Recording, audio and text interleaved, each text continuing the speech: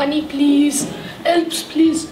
Rupees, please. I have so much of money. I wonder what I'll buy at the marketplace today. Ma'am, please can I have some money? You, you filthy beggar, don't be talking to me. I will give you this beautiful golden flower baby. I don't want your flower, baby. Stuff it. I'm on my way to do my nails. Sir, please can I have some rupees or helps? This is all my spending money, And I will give you this. But I hope it will do. No, please, sir, take this beautiful golden flower baby. No. Please, I insist. Right, thank you. My mother will be happy. A golden egg from this golden flower baby? I need to show Ma this. What's going on here? I got a golden egg. How come he gets the golden egg? Because he has been generous and has given me money. You filthy beggar, I should have just thrown you a few cents. My name is Mrs. J. Dasruth. I'm Deputy Principal at Dr. Yusuf Dadoo Primary School in Azarville and I'm currently teaching English Home Language for grade 7. Boys and girls, did you enjoy the skit? Yes. All right, that skit is related to the folk tale that we are going to do. But before we continue, what is a folk tale? Yes, Oratile? Traditional beliefs, myths, and cus- and customs passed on from generation to generation in the form of stories. Tell me, are there any traditional beliefs or folk tales that some of your parents may have handed down to you? Obakeng? That the Xhosa and the Zulu culture, uh, the boys, the children of the boys, when when they have to get circumcised, they go to the mountains. Okay, you're talking about initiation practices. Okay, is there any other traditional beliefs or folklores that are endemic to other cultures? Patience. Madam, in my Zulu culture, when you respect your parents, you have luck in your future. So if you respect your parents, you'll get luck in the future. I remember my grandmother telling me an old belief. She says if a boy is born with two crowns, he'll have two wives. So girls, don't look for the boy with the two crowns. Just make sure it's one. Our lesson for today was uh, the learners had to listen to a folk tale. They had to identify features of a folk tale and uh, they had to also identify the correct sequence of events in the folk tale. Okay, boys and girls, I would now like you to look at the cover of the folk tale that we are doing today. It's Mufaro's Beautiful Daughters by John Steptoe. Now I'd like you to have a look at the cover page. Who can tell me what you can see in terms of the characters and their expressions? Yes, uh, Mongezi? Uh, ma'am, uh, I think uh, the woman has too, uh, too has overconfidence in herself and is more. I think is more selfish toward. Is she similar to the lady you met at the introduction? The lady who did not want to give anything to the beggar? Is her, her facial expression similar to that? Where do you think the story may be set? Yes, Fatima Meter? Ma'am, I think the story takes place in the countryside. A countryside? Yes, Adila? Ma'am, I think it takes place in Africa because of the, the how the lady is dressed. So it's the traditional garb that she's wearing that is endemically African, isn't it? Okay, boys and girls, I want you to uh, listen very carefully to me. We're going to do a reading activity for this lesson. Now, very carefully and slowly stand up.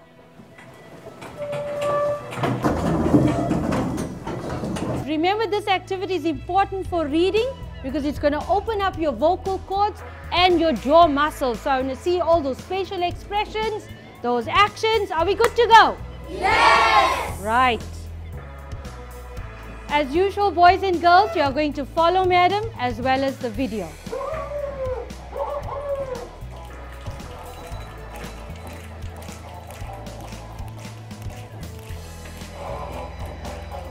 On, shake those hips.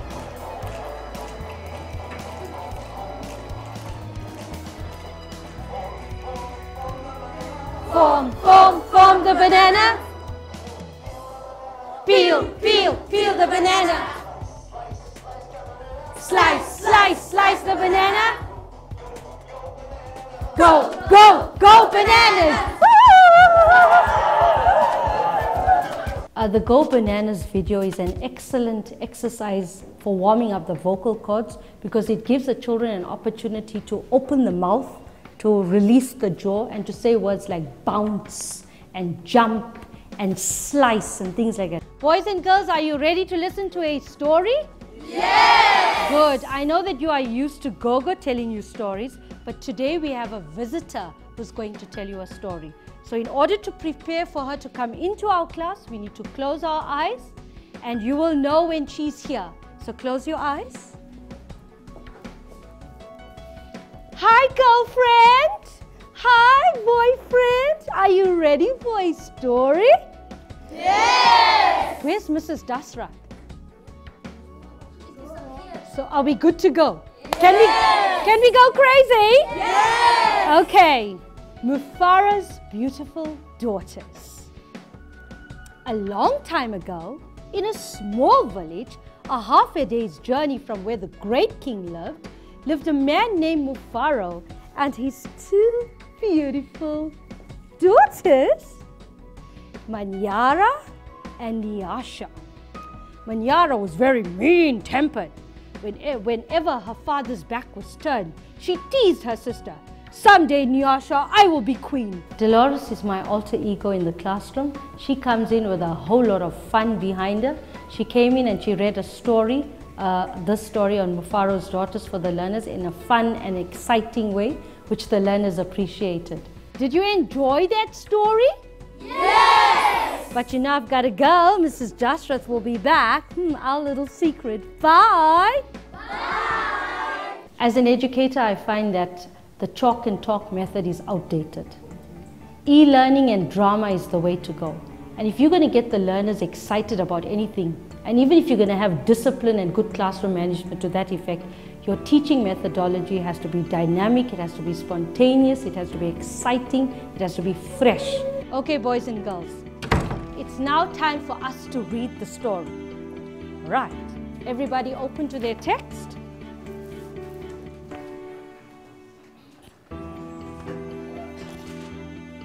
Right, remember the golden rule when you are reading, follow with your finger so that we don't miss out any words. We read with expression, we read with the correct pace, tone of voice and register. And facial expression. When you are reading, don't forget that you are reading for an audience. So think about how you are reading and how it sounds. Right, Lisang will read, uh, stand up Lisang. She'll be doing independent reading. You may read. Early one morning, a messenger from the city arrived. The great king wanted a wife. The messenger announced, the most worthy and beautiful daughters in the land were invited to appear before the king.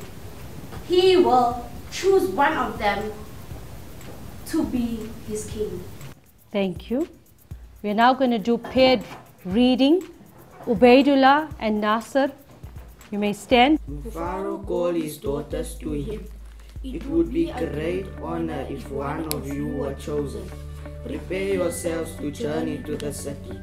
It's important to teach our learners the different types of reading.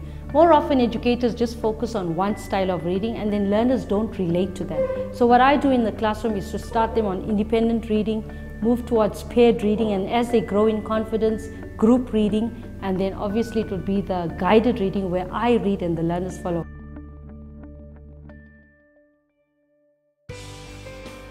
Reading has to be fun, it has to be exciting. So you got to entice the learners to want to read. At the end of the day, that's what you want to do. When you show reading as being fun and exciting.